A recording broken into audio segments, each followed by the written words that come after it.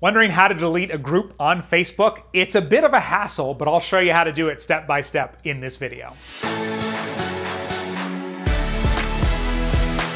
Welcome to 5 Minute Social Media, where we help overwhelmed business owners ditch what everybody else is doing on social media and instead focus on the 20% of tasks that drive 80% of the results and revenue. Honestly, I don't know why everybody's not doing social media this way because we can't keep up with the other way.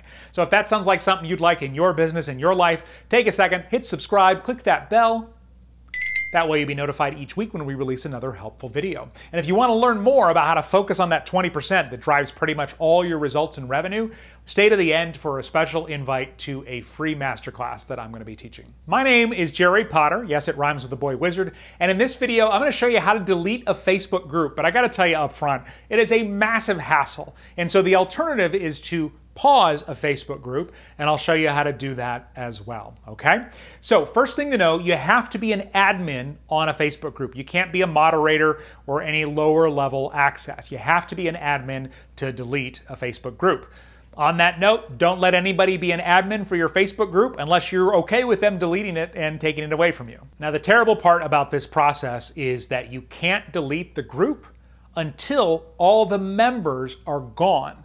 And that's why it, there's no like just obvious delete group button when you're looking for it. So the way you would do it is you would go to the members tab here in your group, again, that you're an admin on. And this is just a group, as you can see, that only has two members in it. So I'm going to go through and take this member, click on the three dots, and choose remove member. It'll ask you if you want to block them and different things like that. You say confirm. Now there's only one member, me. So I go here and then I say leave group. It says, Are you sure you want to leave the group? Since you're the last member, leaving now will also delete this group.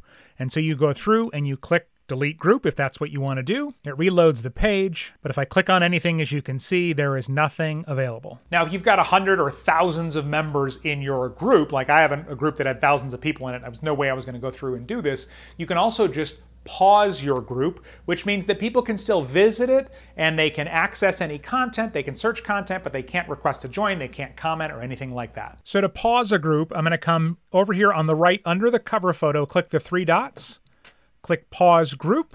You'll need to say why you want to pause the group. This is just feedback to Facebook. You can click other if you don't have anything. Hit continue, pausing it because there is a problem with it. Hit continue and then they suggest you make an announcement letting people know why the group is being paused. Like, is this paused forever or is it going to be reopened someday the next time you do a promotion or different things like that? And if you want, you can even turn on this toggle down here and choose a date and a time that will, will automatically resume. So, totally up to you. When you're ready, hit pause group. That group will be paused. People can still visit it, they can search it, they can read, watch videos, everything that's in the group, assuming they're already a member, but you can't add anyone new and they can't comment on it anymore. So basically, it's just there as a database of information, but it's no work for you as an admin. Now, if you're feeling dangerous, there are browser plugins and things like that that supposedly will go through and remove everybody from a Facebook group for you, but you run the risk. First of all, browser plugins can read all the stuff that you type, passwords and everything like that. So you always run a risk there. Uh, I've seen people who say, oh, this one's amazing, and then 10 other people say, oh, it's terrible, and I think they stole my information.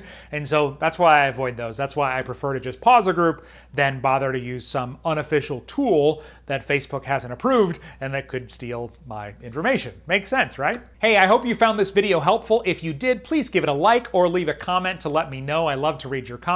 And you're not only supporting me, but also my two tiny superheroes at home. Hey, if you're frustrated with the way your social media for your business is going and you want a streamlined plan where you can get more results with less work, check out my free masterclass, Three Secrets to a Streamlined Social Media Strategy, okay? You can click the link and get signed up right now or watch this video for more information.